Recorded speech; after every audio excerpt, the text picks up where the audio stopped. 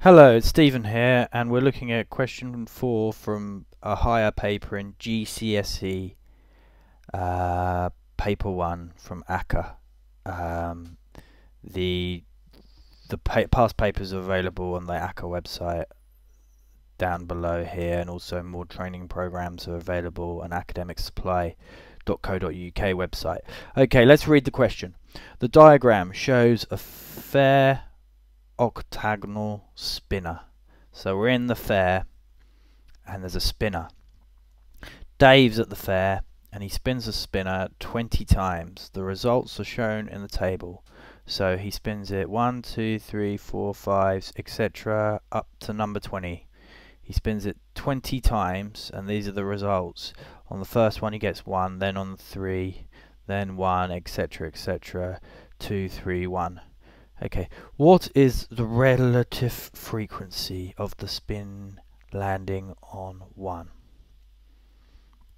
Well, what is the relative frequency?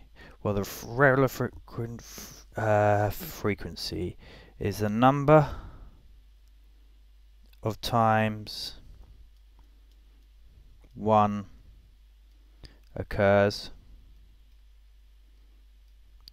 divided by or over the total number of spins.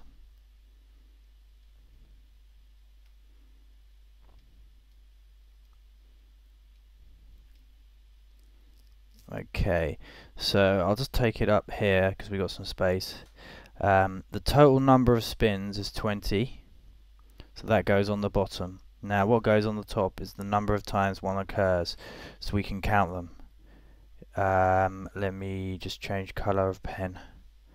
There's one there, two, three, four, five, six, seven. So that's seven times that one occurs. So we have seven on top and we can't reduce that fraction any further and that's the correct answer and we've got two marks already. So that's a great start. Um, we got the two marks that are available shown just here.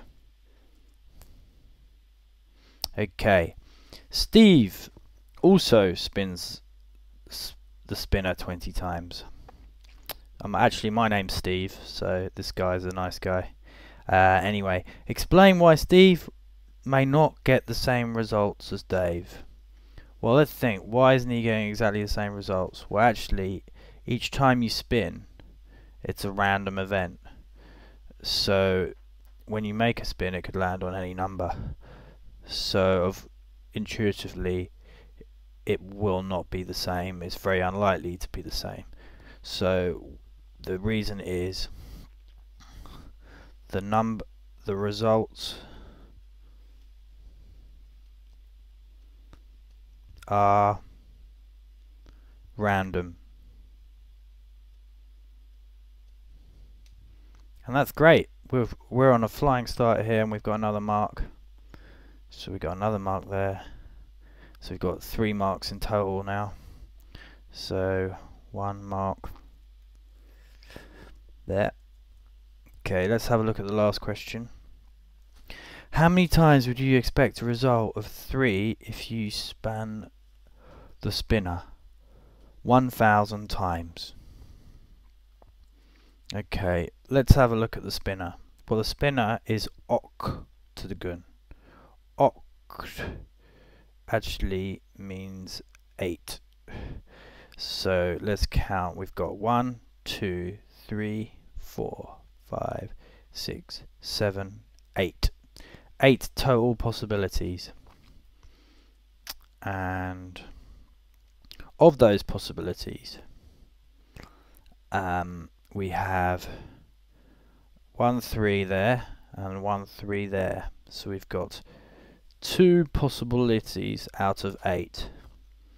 So that when we we have a possibility of 2 out of 8 times. That's every time we spin 8 times, we're likely to get 2 or 3. We can actually reduce that fraction by dividing by 2 and dividing by 2 on the bottom and we get 1 out of 4 and that is the probability. Now we can if we span it a thousand times, one fourth of those times are likely to be threes. So what do we do? Well, we take the number 1000 and we times it by the probability, which is one fourth. Okay. Now, a thousand times one fourth looks a bit tricky, but I can do a little trick for you here. You can actually write one fourth as a half times a half a half times a half is a And that makes it a lot easier because now we can thousand times a half equals 500 and we've still got one more half to deal with. So thousand times a half is 500 500 times a half is 250 and that's our answer. 250 uh, we expect from the spins and we've got another two marks. We'll probably get um, one mark for this and one mark for getting the result here. So total in this question there are five marks available and we've got all of them. So we're, we're doing very confident now and we're moving on to the next question. If you've got any questions, please email us at info at academicsupply.co.uk. Many thanks for your time.